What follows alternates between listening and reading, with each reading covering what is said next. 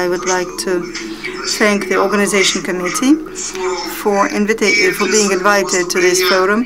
For my talk, I decided to choose most interesting cases which happened in our institution within uh, the recent years. I do hope that colleagues will take part in discussing these clinical cases before I actually uh, say the final diagnosis because within several weeks before conference I uh, sent the uh, radiological images as well as the microscopic views of these cases to the organization committee. So, the first clinical case is 77 years uh, female. The patient represented with left shoulder soft tissue mass, which has grown gradually during the last four months and uh, what is also very important to say, she had no connection to the adjacent bone structures.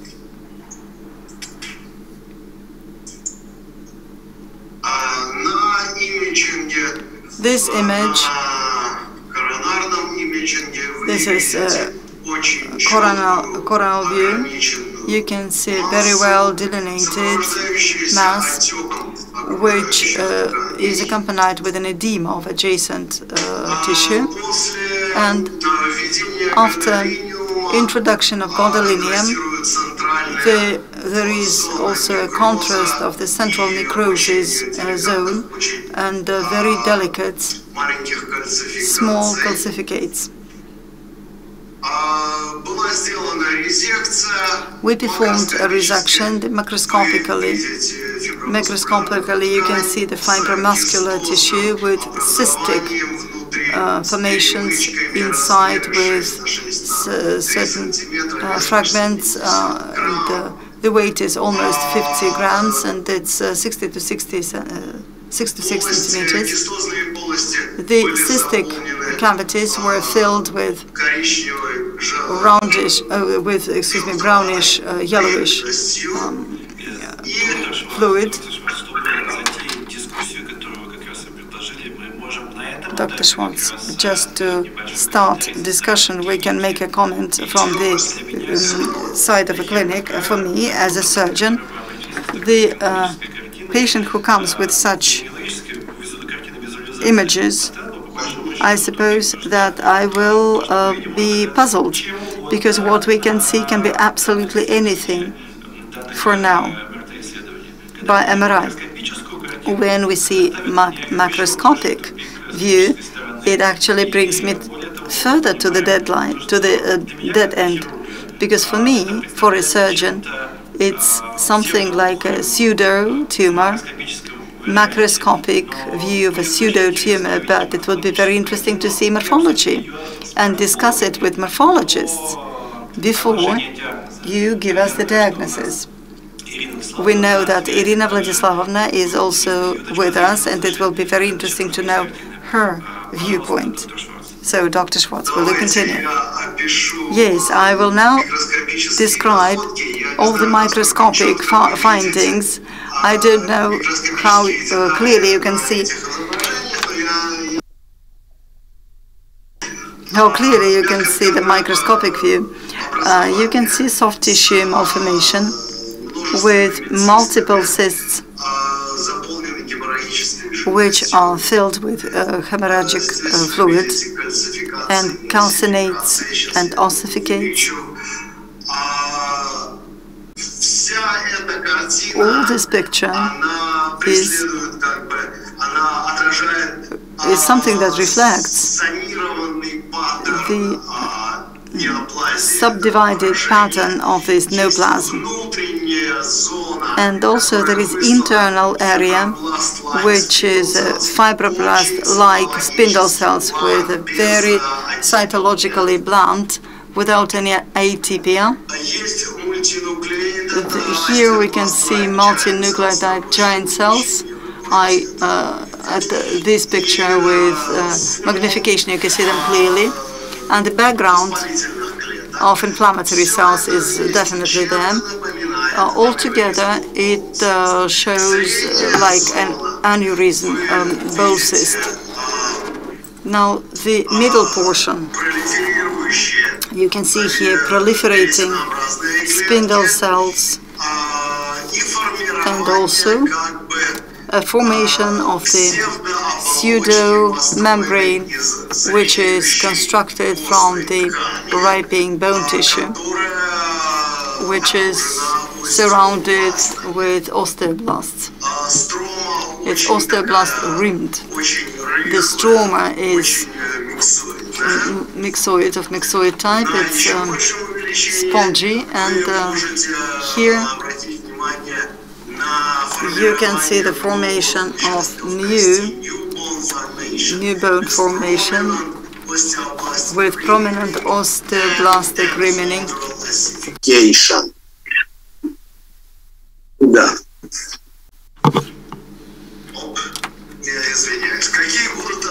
So, what are your options for diagnosis? Доктор Шварц, здравствуйте. Dr. Schwartz, hello. I suppose that in this situation, taking into account the clinical and morphological situation, I would suppose that this is an aneurysm of a bone cyst in soft tissue, which is rare, but nonetheless such cases are well described because we have quite typical zone morphology. We have cysts, um, filled with hemorrhagic fluid and also multinuclear of um, giant cells. I would uh, say this would be my diagnosis. So, Irina, what was it? Yeah, it's absolutely excellent diagnosis. Irina, are you with us? Yes, yes. I'm here. Think about the soft tissue cyst. Uh, and uh, we can, uh, there are not that many of such patients. Everything is within the diagnosis, maybe except for perichondral or maybe ossificates. In Inchondral ossification is also possible, though, though the cartilage, maybe it is also uh, fi- fits with the diagnosis. I do agree with Artyom.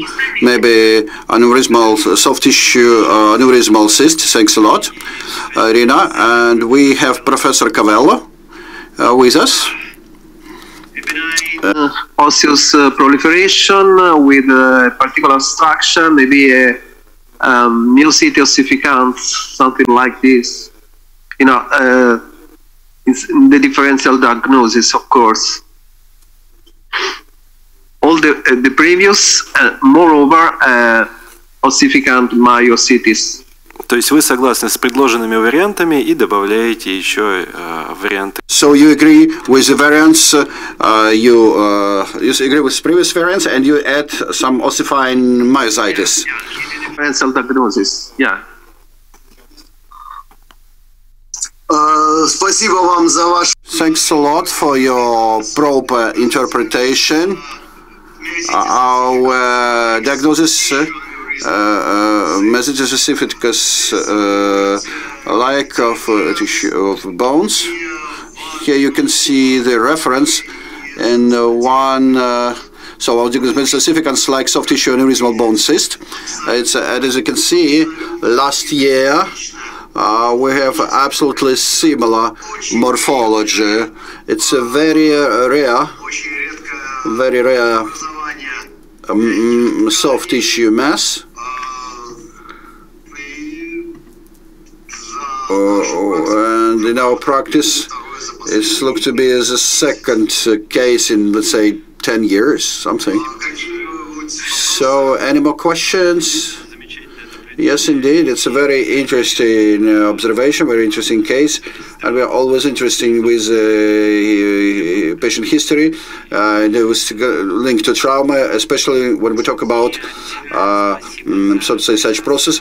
And I would like to thank you separately for a great morphological presentation of all diagnostic clues, which we can, in this case, use for proper uh, diagnosis. Yeah, I'll try to do my best. And if you're good with math, I cannot calculate. You, you said the second case in 10 years. Uh, in my experience, experience, I don't remember more than three in 40 years. So what is the percentage here? It's a minimal percent. It's a minimal percent. So it's an extremely rare pathology. We had least just one such case in the past. Can we switch to the next one? Yes, the second case. It's a similar location. It is also uh, upper uh, great upper shoulder mass in a 19-year-old female. We can see at uh, CT imaging large parenchymatous mass where you see very coarse, heavy calcifications. And uh, the sagittal view, uh, the sagittal X-ray imaging, you can see the same. You can see those uh, uh calcifications. After after uh, gadolinium contrasting we can contrast the central part of necrosis and the same case you can see uh, calcificates uh, with a very well limited very clear mass. Morphologically you see some fat tissue with uh, the mass of uh, 12 by 16 by 8 centimeters partially covered by skin and uh, partially uh, calcinated mass. So on microscopy we can see contrasting several patterns of the tumor. We see a hyper and hypocellular uh, uh, sections or, or, pieces, which mostly consists of uh, round cells with large, with high nuclear cytoplasma ratio and atypical nuclei. The focally we can see some myxoid alterations multiple metaplastic uh, ossifications, but we saw no convincing data for uh, osteoids. Metaplastic uh, calcifications and ossifications are surrounded by osteoclasts, as you can see it here, and uh, the less uh, calcified or ossified uh, um, areas or sections, we can see cells with atypical nuclei, uh, very aggressive cytological pattern. Immunohistochemistry. We see neoplastic cells, positive for SATB2, FLE1, and we considered it as a non-specific pattern and CDK4 and uh, quite white panel of markers was uh, tested. All markers were negative. I'm talking only about positive markers. Well, what else we tested for? MDM2, SOX10, MUC4, S100, CD34, CD99, MNF116, Desmin, TLE1, and SMA. Everything was negative. KI67 was positive up to 25%. we did cytogenetics on MDM2 CHOP uh, Ewing LCI translocation X18 and CIC gene. Everything was negative. And uh, and and uh, uh, we and we sent this case to Professor Fletcher, uh, to Professor Fletcher, Fletcher. Uh, so, uh, so dear colleagues, uh, it was our lifesaver. But before we say his diagnosis, what you think is here? Here, I would think about non-differentiated round cell sarcoma, because in this case, we can see non-typical immunophenotype, uh, round cell morphology, and with no confirmed uh, genetic uh, specific rearrangements. I would consider it as non-differentiated round cell sarcoma, which, uh, as I mentioned in my talk, this nosology is still there. It still exists in classifications. And what do you think about calcifications and uh? Mature bone, no osteoids were found. Well, maybe it's a reactive bone formation because in this case, naturally, differential diagnosis uh, should be done with uh, maybe with osteosarcoma, but uh, but out of uh, positive signs, it's uh, so is mm, so it's uh, SATB2 positive, but SATB2 could be seen in a large number of cases. Yeah, it's uh, regretfully it's highly non-specific marker. Regretfully. Well, his diagnosis was unclassified round cell sarcoma with metaplastic ossifications. This was uh, this was such a weird diagnosis uh, for this weird mass. What was the patient history?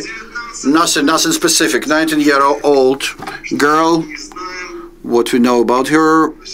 Just a second. Maybe there was some any trauma when this uh, mass appeared. Well, actually, I don't believe strongly into the connection of uh, malignant uh, masses, uh, bone masses, uh, with trauma. It's mostly it's a coincidence. Yes, I don't believe that also, but we need to know her history. It's a question to clinicians. Yes. That's that's that's what I was uh, given uh, by the clinicians. That's it. Thank you. So that was such a nice case. And if we look at the macroscopic uh, specimen, I'd like to say one thing. You said that it looks like fat tissue, and I do not agree with that. It looks exactly as a sarcoma-like tissue. It was surrounded by fat tissue. Maybe I didn't uh, mention it uh, quite clearly. If you show me that picture, it's the first thing. It's this malignant tissue, skin, you see? And what uh, maybe uh, we do not know about something, and maybe geneticians just didn't pay attention to that. But look here, it's highly heterogeneous. You see here white pieces, uh, you see some additional nodular of more brownish type. Macroscopically, it was very heterogeneous uh, mm, uh, structure. And then it is a bone formation, it's a rib, young woman, so there could be some trauma. Well, first, I do not know, I cannot say anything about that. Mm, But in any case, uh, this bone, as you can see, macro and microscopically, it was absolutely regular metaplastic ossification. I wouldn't say metaplastic, but absolutely regular, normal, non-neoplastic uh, bone formation. And what we see, SATB2 marker, it works nicely for benign processes. As, uh, but this uh, marker of osteoformation, but in those cells, you don't see any signs of bone formation.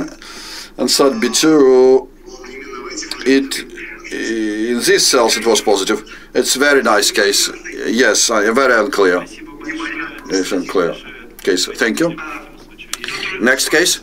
Uh, uh, А, да. Did you did you rule out uh, an ossifying fibromyxoid uh, tumor, malignant, of course? Это, это не похоже как а, doesn't look like uh, fibromyxoid. It doesn't look like this, but uh, we did FUS, CHOP and MDR, they all were negative. Meaning it's not in that group, I suppose. Uh, and MUC4.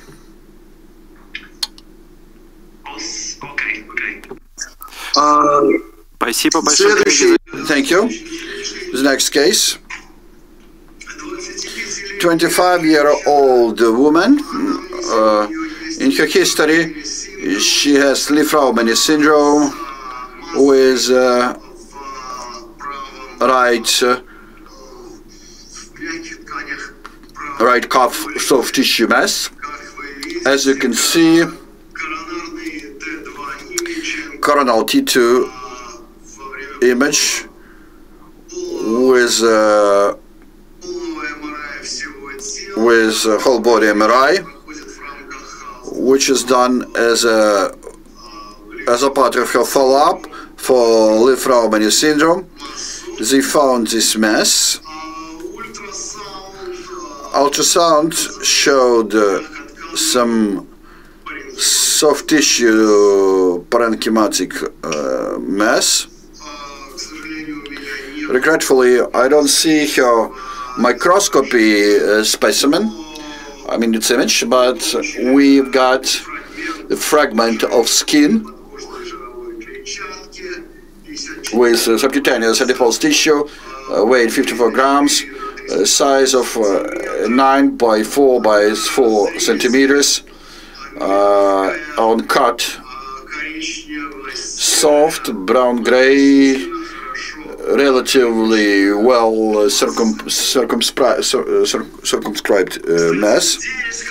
And here you can see myxoid uh, neoplasia, well uh, limited, well circumscri- circumscribed. Solitary cells flowing in relatively hypocellular myxoid stroma, and those cells are hyperchromatic, uh, highly atypical, with nuclei of unusual shape. We did FUS, CHOP, and MDM2, and all three markers were found to be negative. So your diagnosis. In this case, I would assume neuronosology, which appeared in WHO classification, myxoid pleomorphic uh, liposarcoma, which actually uh, appeared due to absence of typical for myxoid liposarcoma uh, genital rearrangement, typical for myxoid liposarcomas. It's absolutely proper diagnosis. Mm, Yeah, we had similar case actually. So myxoid pleomorphic uh, liposarcoma, uh, high grade, associated with Lee-Fraumeni syndrome, uh, which actually was uh, uh, appeared in the uh, latest WHO classification as a, a separate group of sarcomas. It's you're absolutely right. Um, myxoid pleomorphic liposarcoma is a very rare sarcoma uh, happening in Lee-Fraumeni syndrome patients. It's autosomal dominant disorder with multi, uh, caused by multiple germline mutations, and uh, fish studies uh, shown to be uh, typically negative for all three liposarcoma markers: uh, MDM2, CHOP, and FUS. Well, quite recently, there have been relatively recently there have been published an article 2017 was absolutely similar uh, a pattern and uh, similar uh, and similar genetic uh, uh, alterations. Questions? Are there any comments from our colleagues? Irina, Dr. Cavallo, any comments? I think that uh, I do agree completely with uh, Artem in his diagnosis it's quite nice.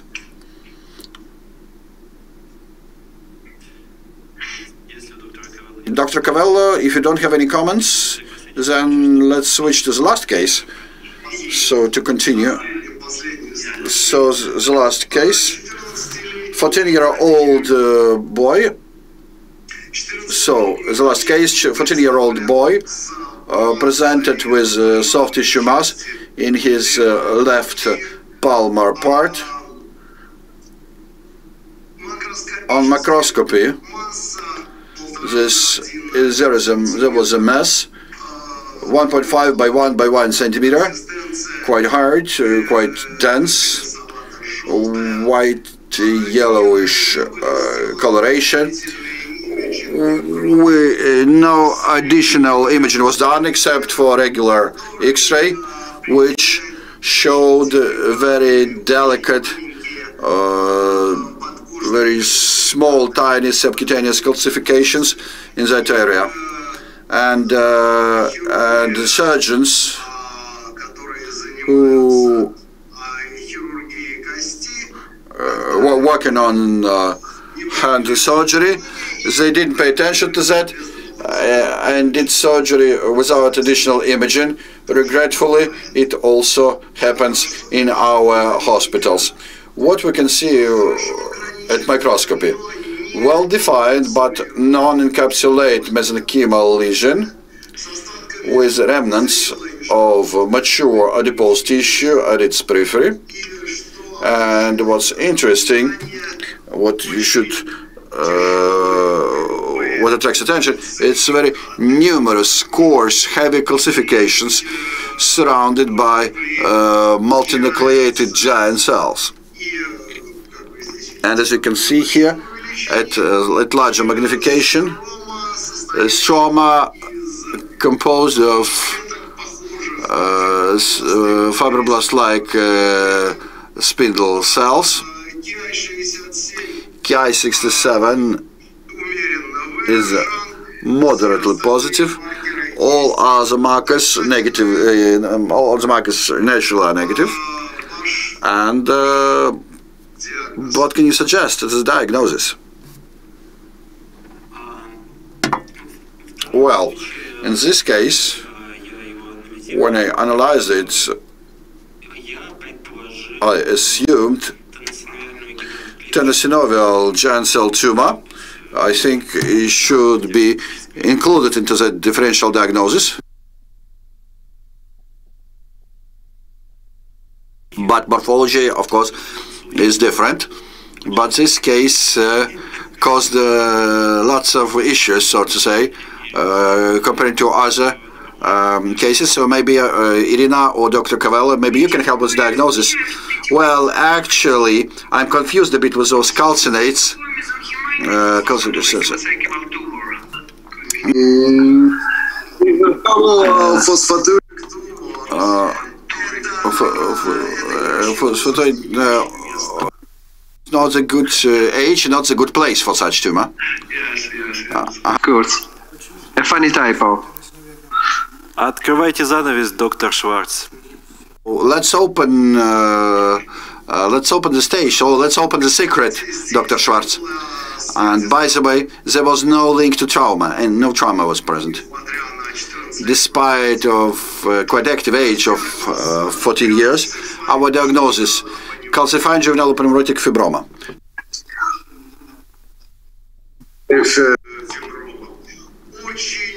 and uh, it's very rare and very clear, uh, a very distinctive fibrous lesion of young age, which was originally described uh, uh, by Keasbey in 1953. Uh, two to one male predominance, mainly young, uh, maybe children and young adults. 80% distal extremities, uh, 20% proximal extremities. Currently, everything fits the diagnosis.